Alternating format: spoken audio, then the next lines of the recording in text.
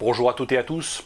Je l'avais annoncé depuis déjà quelques temps, euh, et j'avais raison à 100%, l'État est complètement en faillite, l'État est, au bord du dépôt de bilan, et il ne peut même plus euh, se financer en se contentant d'emprunter euh, de l'argent auprès des marchés financiers et de la Banque centrale à 0%, voire à taux négatif. Aujourd'hui, les, dépenses, de l'État explosent et les recettes fiscales s'effondrent parce que les entreprises déposent le bilan à grande échelle, dépôt de bilan, faillite, suicide, un suicide d'un grand nombre d'entrepreneurs, d'agriculteurs, mais pas que d'agriculteurs. Et donc la solution de la parasitocratie, bah, c'est certainement pas de réduire leurs dépenses, hein.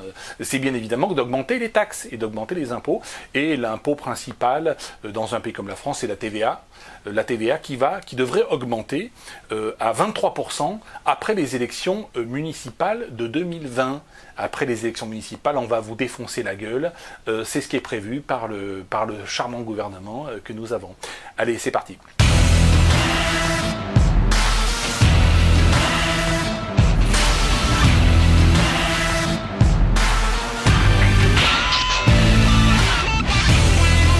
Alors c'est un fait qu'en tant qu'esclave, euh, tu dois payer payer, payer, payer et encore payer. Là, il n'y a pas de, il a pas d'échappatoire. L'idéal pour te faire payer, euh, c'est de déclarer que le pays est en guerre. Alors aujourd'hui, on te vend la guerre environnementale. Euh, traditionnellement, c'était plutôt la guerre contre un ennemi, euh, contre le voisin ou contre un envahisseur quelconque ou supposé tel. je rappelle un petit rappel historique. En 1939, si nous avons déclaré la guerre à l'Allemagne, je rappelle que c'est la France qui a déclaré, la France et la Grande-Bretagne qui ont déclaré la guerre à l'Allemagne. Euh, ce n'est certainement pas pour sauver la Pologne, d'ailleurs on n'a pas envoyé de troupes et on n'a pas envahi l'Allemagne, euh, c'était simplement pour mobiliser l'opinion publique euh, et la faire et déclencher des dépenses militaires absolument considérables. De la même manière que une fois que la France a été vaincue, euh, l'Angleterre est restée dans la guerre. Pourquoi est-elle restée dans la guerre? Elle n'avait aucun intérêt à le faire. Elle y est restée alors que l'Allemagne lui proposait l'armistice, euh, c'est-à-dire la, fin des combats. Euh, elle est restée dans la guerre également pour des raisons de parasitocratie, parce que vous avez toute une industrie financière, mais également un complexe militaro-industriel qui doit travailler et qui doit s'enrichir à milliards pendant que le peuple se fait crever la peau. Il est bien évident que si ni la France ni l'Angleterre n'avaient déclaré l'Allemagne euh, suite à, l'agression de l'Allemagne contre la Pologne, eh bien l'Allemagne n'aurait pas fait la guerre à la France ni au Royaume-Uni, et l'Allemagne aurait poursuivi sa guerre contre la Pologne et contre l'Union soviétique, euh, ce qui était prévu, ce qui était, le plan d'Hitler. Hein. Hitler a d'ailleurs été assez surpris de voir que la, France et, la Grande-Bretagne lui, déclaraient la guerre. Il fallait tenir compte, bien évidemment, pour comprendre la situation, que eh les gouvernements sont dans la, main d'un certain nombre de, groupes financiers de groupes euh, industriels qui avaient intérêt aussi fondamentalement euh, fondamentalement à la guerre.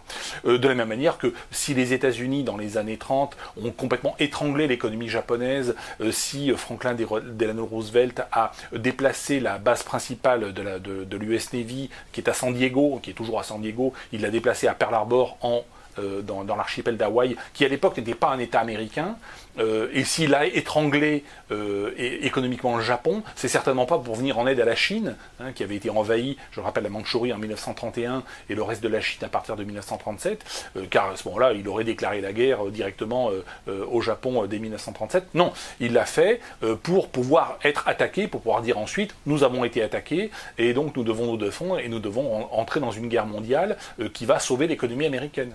C'est toute une logique. Donc encore une fois, le peuple est fait pour, euh, pour verser son sang et pour payer euh, et pour, payer, eh bien, c'est pour s'en enrichir naturellement toute une parasitocratie, à la fois politique. Le, politicien n'est que la courroie de transmission entre l'industrie, une industrie financière et, militaro-industrielle, euh, euh, et, naturellement le peuple. Voilà. Donc le, politicien n'est que la courroie de transmission. Hein. Le peuple paye et cette industrie s'enrichit à milliards, à milliards de milliards, hein, naturellement. Je rappelle que la guerre en Irak, en, initiée en 2000 en 2003, a coûté aux États-Unis quelques 4 000 milliards de dollars au peuple américain, euh, qui, a, gagné quoi? Qui n'a rien gagné du tout, à part euh, de voir quelques-uns de ses soldats revenir dans un sac en plastique.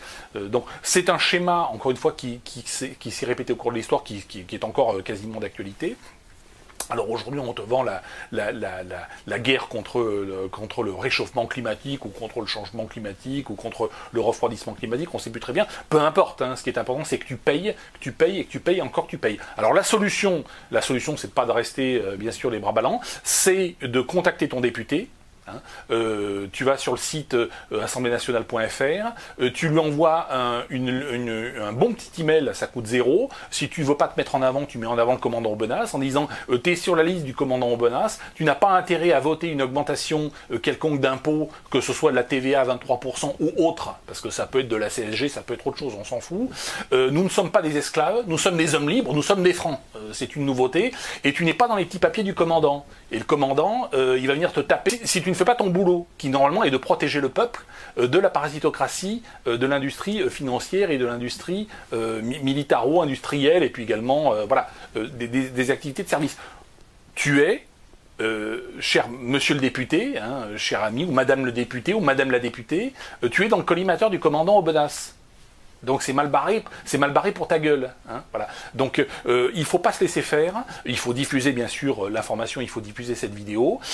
et encore une fois, euh, si vous vous comportez en esclave, si vous vous comportez comme des chiens ou comme des chiennes, bah, vous serez monté comme des chiennes. Hein. voilà. Euh, si vous vous comportez en homme libre et en franc, eh bien vous serez euh, quelque peu respecté par votre député. Et d'ailleurs, si vous lui envoyez une lettre, encore une fois, pas de menace directe, ça sert à rien. Vous aurez des ennuis avec la justice, ça sert à rien. Mettez-moi en avant. Hein. ils connaissent le commandant Benas et ça commence, à, chauffer dans les couloirs de l'Assemblée nationale me concernant. Voilà, mais c'est je, mon, mon rôle est là.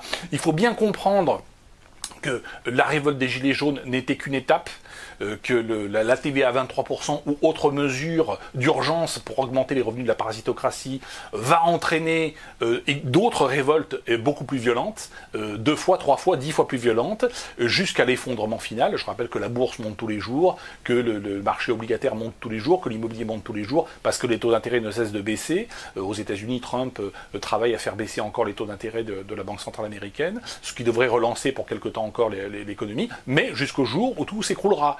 Euh, et il faut bien comprendre que les grandes révolutions, elles démarrent toujours d'un euh, d'un effondrement économique, 1789, 1929 euh, euh, en, Europe et avec effectivement des conséquences terribles pour des pays comme l'Allemagne euh, ou des pays comme l'Autriche ou l'Italie. et puis, naturellement, aujourd'hui on est en, en, 2019, alors 2019, certains prédisent que les années en neuf, c'est jamais, c'est jamais très bon, eh bien nous pouvons également avoir un, crack cette année, un, un, crack financier, un crack boursier tout à fait majeur, peut-être 2019, peut-être 2020, peut-être 2021, peu importe. Ce qui est important, c'est de se tenir prêt et c'est d'être conscient politiquement euh, que l'on est traité en esclave par une parasitocratie. Hein. C'est pas une question de guéguerre gauche-droite, on s'en fout. Nous, nous devons abattre la parasitocratie au sens propre comme au sens figuré. C'est mon boulot. Merci à tous et à bientôt.